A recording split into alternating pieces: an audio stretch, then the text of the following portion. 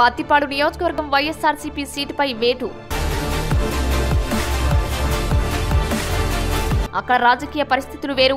పట్టం కట్టిన నాయకుల్ని బలంగా నమ్ముతారు. అవసరమైతే పార్టీల కోసం ప్రాణాలను సైతం పనంగా పెడతారు కార్యకర్తలు.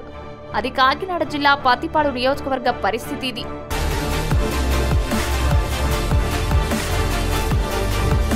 ఇప్పటి వరకు పర్వత ముద్రగడ వరపుల వంటి కాపు వర్గానికి చెందిన వారే ఎమ్మెల్యేలుగా శాసించారు. ఈ నియోజకవర్గాన్ని శాసించడానికి భారీ ఎత్తున కసరత్తులు చేపడతారు.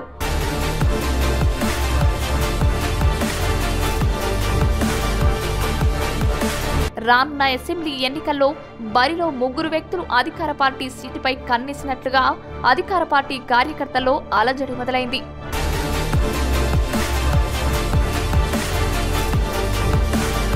పత్తిపాడు నియోజకవర్గ అధికార పార్టీ ఎమ్మెల్యే పర్వత పూర్ణచంద్ర ప్రసాద్ పంతొమ్మిది వందల ఎనభై తొమ్మిదిలో టీడీపీ ద్వారా రాజకీయాల్లోకి వచ్చి తర్వాత కాంగ్రెస్ పార్టీలో చేరి శంకవరం గ్రామ సర్పంచ్గా ఆంధ్ర బ్యాంక్ ఎఫ్ఎస్సిఎస్ అధ్యక్షుడిగా జెడ్పీటీసీ సభ్యుడిగా అన్నవరం దేవస్థానం ట్రస్ట్ బోర్డు డైరెక్టర్గా సెంట్రల్ బ్యాంక్ డైరెక్టర్గా వివిధ హోదాల్లో పనిచేశాడు.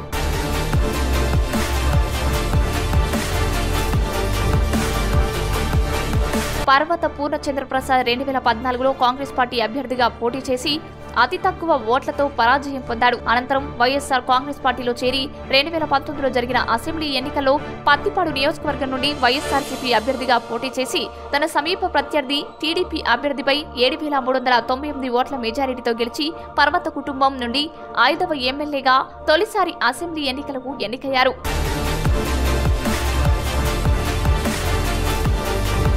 పార్టీ ఆదేశాల మేరకు కష్టపడి పనిచేస్తూ నియోజకవర్గ అభివృద్ధికి తోడ్పడుతున్నట్లు కార్యకర్తలు వెల్లడిస్తున్నారు. గత కొన్ని సంవత్సరాల నుండి పత్తిపాడు నియోజకవర్గాన్ని శాసించి ఎమ్మెల్యేలలో పర్వత కుటుంబం ఒకటి. రానున్న అసెంబ్లీ ఎన్నికల్లో కూడా పర్వత శ్రీ పూర్ణచంద్ర ప్రసాద్ని ఎమ్మెల్యేలుగా ఎన్నుకోవడం జరుగుతుందని పైగా మంత్రి హోదాలో చూడాలనేదే కార్యకర్తల ముఖ్య ఉద్దేశమని అంటున్నారు.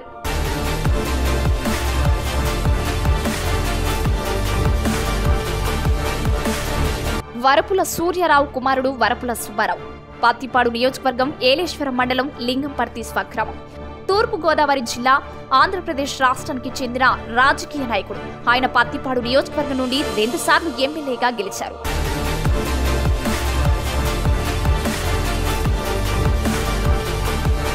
వరపుల సుబ్బారావు కాంగ్రెస్ పార్టీ ద్వారా రాజకీయాల్లోకి వచ్చి రెండు వేల నాలుగులో తొలిసారి ఎమ్మెల్యేగా గెలిచారు.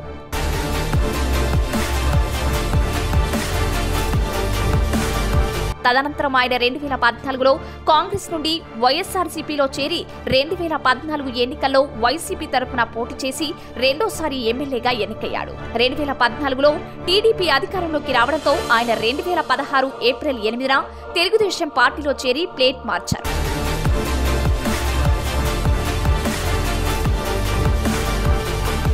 అదే ఆయనకు నియోజకవర్గ రాజకీయాల్లో భారీ స్థాయిలో నష్టం కలిగించింది. ప్రతి పార్టీ జెండాను తన భుజంపై ఎత్తుకోవడంతో ప్రజల్లో నమ్మకం సైతం కనుమరుగైపోయింది.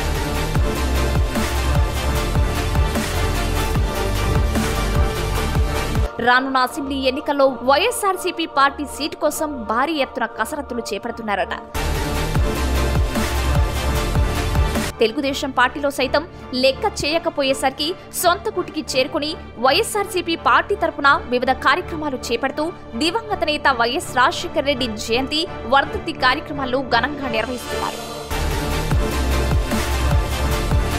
అదే కాకుండా రానున్న అసెంబ్లీ ఎన్నికల్లో వైఎస్ఆర్సీపీ పార్టీ సీట్ నాదేనంటూ కార్యకర్తలతో ముచ్చటిస్తున్నారట. పత్తిపాడు నియోజకవర్గానికి వైఎస్ఆర్సీపీ పార్టీని పరిచయం చేసిందే నేనంటూ ముఖ్యమంత్రి జగన్మోహన్ రెడ్డికి నాపైన మంచి అభిప్రాయం ఉన్నదని పలు సందర్భాల్లో తెలియజేసినట్లు కార్యకర్తల్లో ముచ్చట్లు జరుగుతున్నాయి.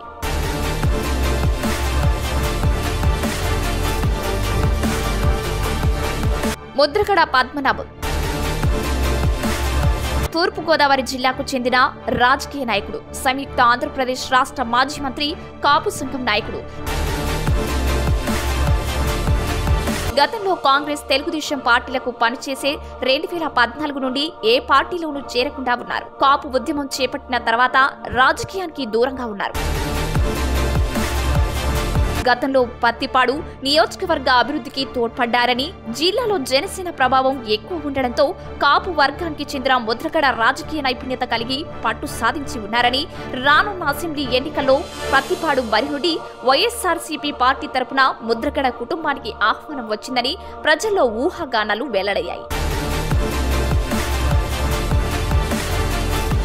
అయితే ముద్రగడ తను పోటీ చేయనని స్వయంగా తెలియజేస్తూ ముద్రగడ చిన్న కుమారుడైన గిరిబాబును బరిలో దించనున్నారట.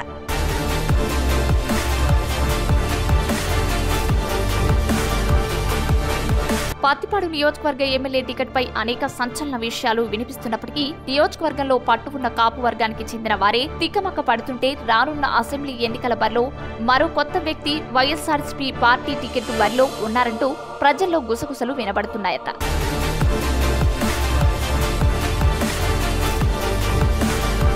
కాకినాడ జిల్లా పత్తిపాడు నియోజకవర్గ రౌతులపూడి మండలం మల్లంపేట గ్రామానికి చెందిన రెడ్డి నారాయణమూర్తి.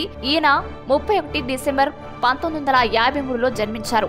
ఈయన బీసీ కొప్పుల వేలమ వర్గానికి చెందినవారు. రెడ్డి చిన్నయ్య నాయుడు చిట్టమ్మ దంపతులకు సంతానంలో మూడోవాడు నారాయణమూర్తి. ఆయన తోడు సంతానం ముగ్గురు ఆడవాళ్ళు నలుగురు మగవాళ్ళు. మగవాళ్ళలో రెండోవాడు రెడ్డి నారాయణమూర్తి. తెలుగు సినిమా నటుడు దర్శకుడు ఎర్రసైనం చీమలదండు మొదలైన విప్లవ ప్రధానమైన సినిమాల నిర్మాత నటుడు హేతువాది ఈయన అవివాహితుడు ఈయన సినీ రంగ ప్రవేశం నంది పురస్కారాలు అవార్డులు కూడా అందుకున్నారు. రౌతులపూడి గ్రామంలో సొంత నిధులతో ప్రజా వైద్యశాల కట్టించి అదే గ్రామంలో శివాలయానికి యాభై లక్షల విరాళాన్ని ఇప్పించారు. అదే గ్రామంలో హై స్కూల్లో తరగతి గదులు కొన్నింటిని కట్టించారు.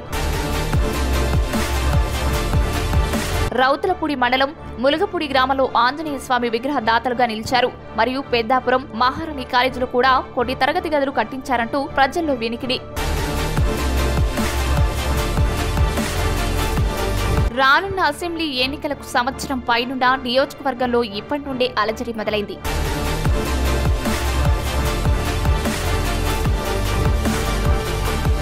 అధికార పార్టీ ఎమ్మెల్యే పర్వత పూర్ణచంద్ర ప్రసాద్ మాత్రం ఇవేవీ పట్టించుకోకుండా ప్రజల్లో గడప గడపకు మన ప్రభుత్వం అంటూ నిత్యం ప్రజలను సందర్శిస్తూ తన పని తాను చేసుకుంటూ పోతున్నాడు.